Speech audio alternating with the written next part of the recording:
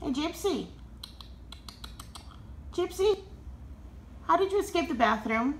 Hmm? Gypsy? I know you can hear me. Gypsy, come here. Come here, mamas. Hi. Hi. Come here. Gypsy. I won't put you back in the bathroom. We need to find your foster. Come here. Say hi to me.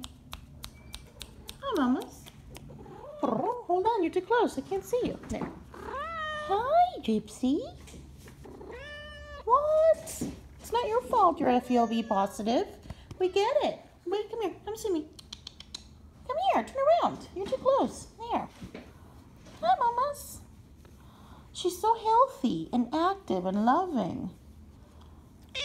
Yeah, I have too many cats here. You can't stay here. It's too dangerous for them. You need to be on your own or with other kitties like you. Let's find your foster because she's tired of the bathroom. She's escaping every time she can. Yeah, I can't be finding you places. Come on.